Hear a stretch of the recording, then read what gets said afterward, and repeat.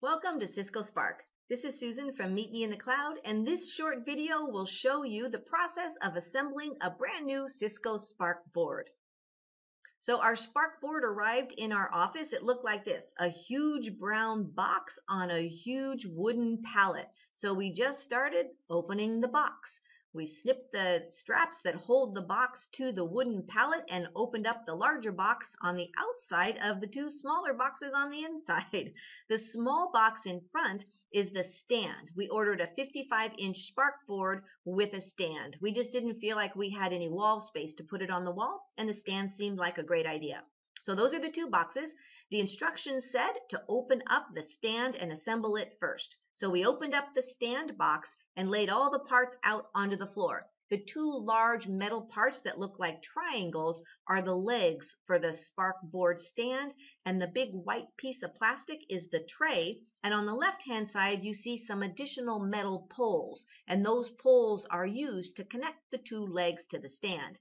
The spark board stand came with this hardware all that we needed that didn't come with the board itself and the stand was an Allen wrench and a screwdriver. The rest of it was was um, done with just these these pieces of hardware.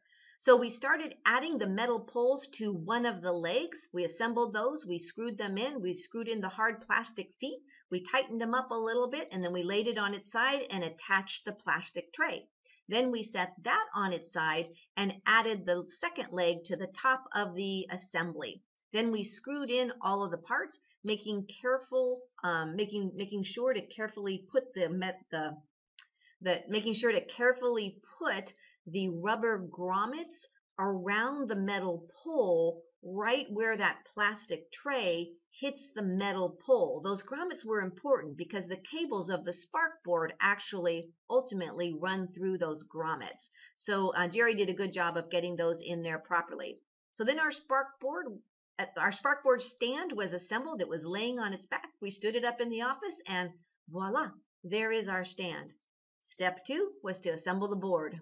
So we opened up the second box that contained our sparkboard.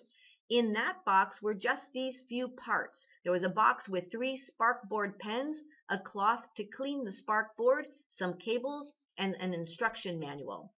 So we just opened up the box and pulled out the sparkboard stripped off all the styrofoam, took the board out of the box, laid it very carefully on its face on the carpeted floor to protect it, and unwrapped it. Now on the back of the spark board, we took four pieces of hardware that came with the spark board stand and screwed those little pieces of hardware into the back four corners of the spark board itself. We screwed them in manually and then we tightened them with an Allen wrench. Now there's the board with the four pieces of hardware, each one in the corner. Those little four pieces of hardware are what are going to connect the Spark board to the Spark board stand. So we picked up the board and straightened it up, brought it over to the Spark board stand. We put the stand in place because we thought this thing's going to be pretty heavy when it's done. It actually took a couple of us. So the gal in the middle is holding the weight of the spark board, while the two people on either end of the board are guiding those little four pieces of hardware on the back of the board into the metal poles that make up the spark board stand. So you can see here, this is what it looks like in the back.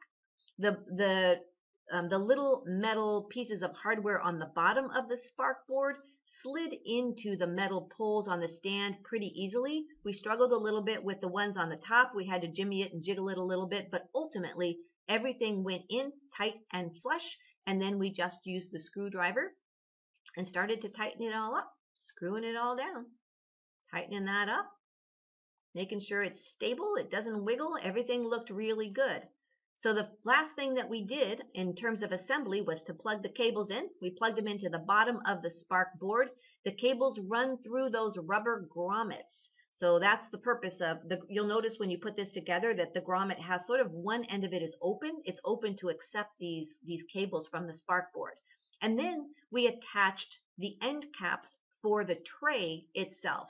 Just gently place them in, put them in place, screwed them tight, you can see there the grommet on the back of the table has an opening to accept the cable from the spark board, whereas the grommet on the front of the spark board does not have that opening. So when you assemble it, put the ones with the opening on the back. and then we screwed everything in tight with a screwdriver. There are the cables running uh, through the grommet and down through down the leg of the spark board stand. And you can see those two little plastic um, pieces. Those just snap the cable. They hold the cable to the to the stand, the leg of the stand. And there's Jerry just kind of pulling the cables down and snapping the cables to the stand so that they're out of the way. On the face of the spark board in the lower right corner is a magnetic location that holds one pen. So we attached the pen to the spark board and turned it on. And the first thing the board did was to confirm that it was indeed connected to a live network port, and then it started to go through its setup process. It immediately wanted to update its own software, so we let it run through that process. Didn't take long, maybe maybe two minutes, um, and then the software was ready to go.